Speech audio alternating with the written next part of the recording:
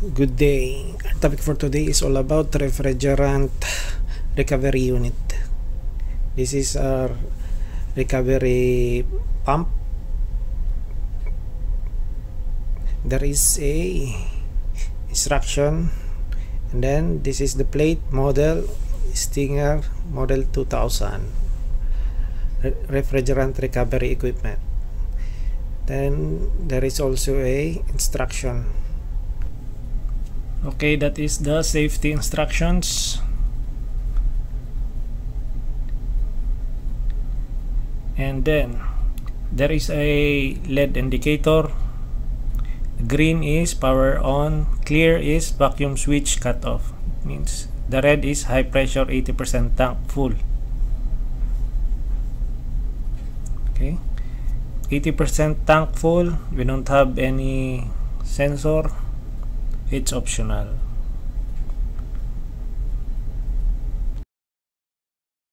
This is the basic simple instruction for the recovery unit. Recovery unit in and out, suction and discharge. That is very simple. Suction from the liquid side or the gas side if you're using this manifold. Then suction. Then this recovery unit, the discharge going to the recovery tank. Rec tank. That's it. Very simple. In, out, going to the recovery tank.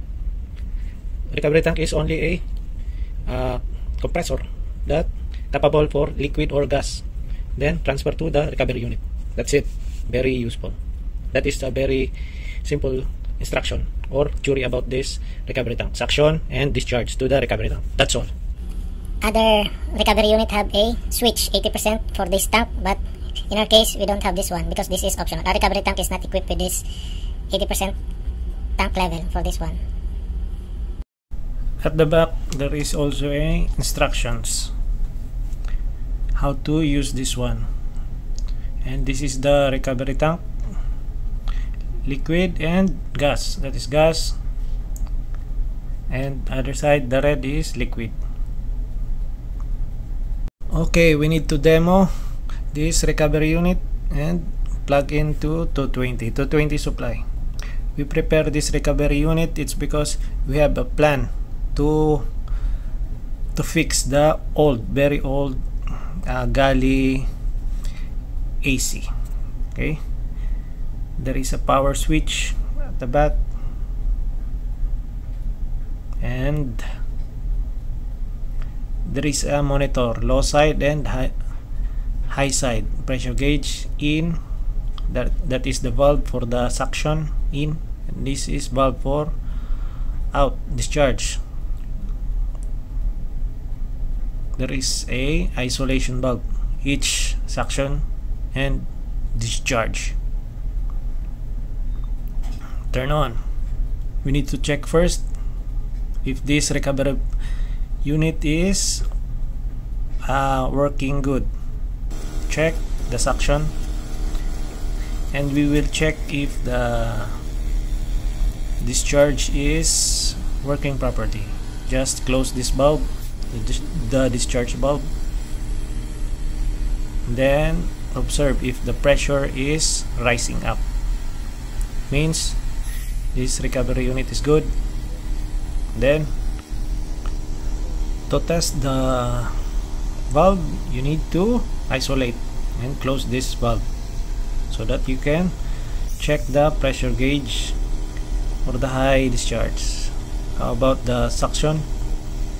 Just close this valve and then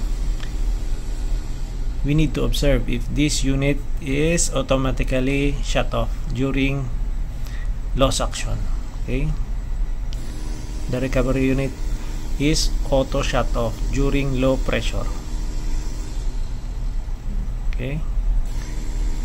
Almost zero the unit is turned off.